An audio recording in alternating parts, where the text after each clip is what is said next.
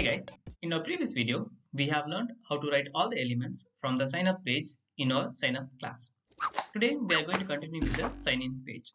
So in sign in page, we have three fields. One is the email, password, and another one is the sign in button. So if I go back to here, we can see that we have only three fields that are necessary to complete our test script. So let us just write this quickly. So I'm going to inspect this. And here we can see that we have this name equal to email. So I'm just going to copy this. And of course, within this header, I'm just going to create another class that's going to be my sign in class. So sign in page.js. And within this, of course, we will create a class called as sign in. And here we'll write our elements. And after that, we also need the password. So I'm just going to inspect this and here we have this name equal to password. So i'm just going to copy this. And here i can just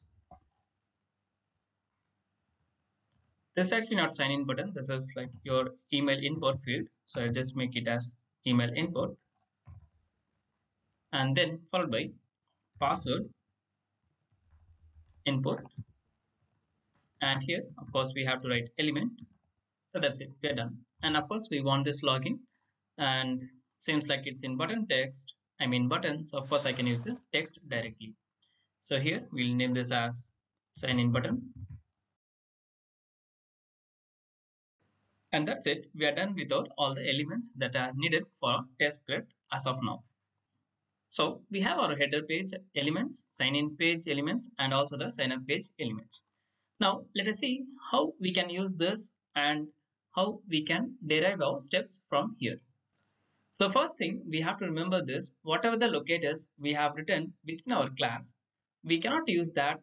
Actually we can, but we prefer not to use those elements directly in the script.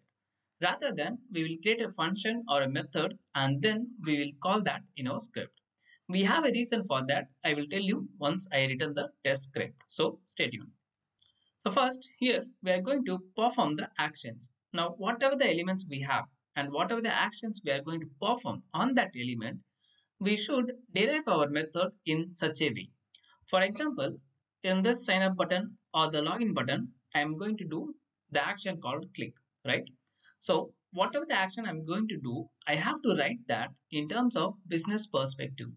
For example, I'm going to click on the sign up button. So my method name should be like click and then followed by what is the button or whatever the elements it is going to be, we have to specify that. For example, here I will say click sign up button. Or we can just make it as sign up because we don't have anything other than that in this page and it is very clear clearly visible that this is sign up this is login. So i can make my method name like this click sign up. And within the method whatever the actions we are going to perform we have to call it for example, here I have to say this because of course whatever the variables or method present within the class, we can access it using the this keyword. So this means simply it refers to the current class. So this dot sign up button dot click. And of course, we know that we are going to use the async and await. Of course, I can use that within the class itself. So here I will make my function as async. And here, of course, I have to use the await keyword. Similarly, I'm just going to copy and paste for the login. So here I will say click login. And instead of sign in button, I'm just going to call my login button. That's it. So this is how we have to write each and every steps. Yes, it might look difficult in the beginning, but trust me, this is what we have to write and this is the best practice we can do for our page object model. Now, we know that this is the method that we are going to access outside of this class. But this element should not go outside of the class, correct? So we will restrict the scope of this element using the private variable. So I'll just make this as private. So this variable will not go out of this class. And whenever I'm going to call this method, it is going to access the this particular variable. So of course I have to change here as well. So I'm just going to delete and write it again. And here this is. So in this way, whatever the elements we have within our class, we have to make it as private. And then whatever the methods we are going to make it public, we should call the elements within that method. And please remember, this should be in the format of business perspective always. Similarly, let's see how to write for the sign up page. So here we have five elements. So let us see what are the actions we need. First, of course, we are going to enter the name, right? So if I go back to my page, you can see that this field, of course, we are going to enter. Here also we are going to enter and here also we are going to enter and these two actions are going to be click actions, right? So let us see how to do that. So first of all, I'm just going to make all this variable as a private. So you can just click on this and you can click on the alt key and then you can just keeps on clicking.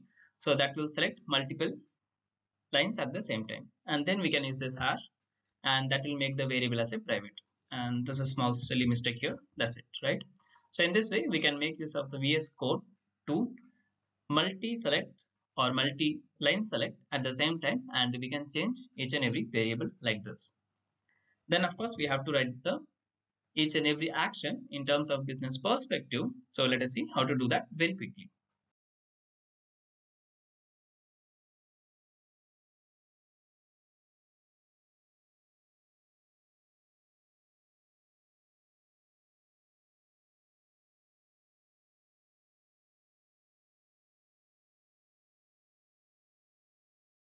So we have written all our methods. Now within this, of course, we have to use this particular elements. And we know that this all the method should be of type async. So again, I'm just going to click alt and click and then I will just use the async keyword here. So I will just make it as async.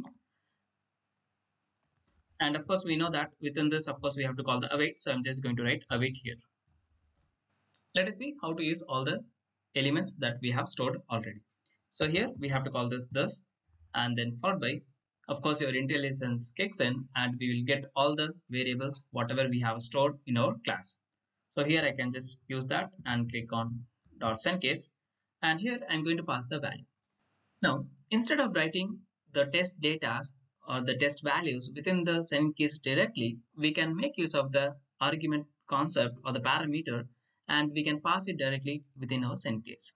So in that way we can make this code reusable. And also in case if we have to change the username or the email id or the password for different users of course we can pass it to our function or the method and it is going to send to the send keys right? So basic the oops concept that we have already discussed in our javascript class. So here i'm just going to pass this as a name and here i'll just pass pass this as a name right Similarly, we are going to do for the email and the password as well. So let me just use make use of this copy paste. Now here we have to do the click action. So I'm just going to call the checkbox dot click. And similarly, here we are going to click on the sign up button.